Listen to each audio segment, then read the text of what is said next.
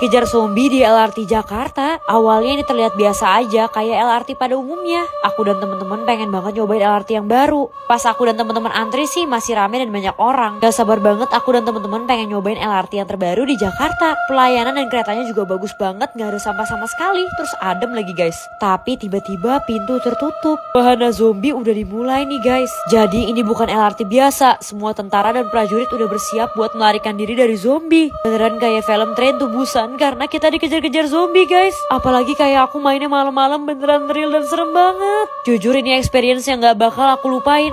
Dengan harga tiket 60 ribu ini worth to try banget.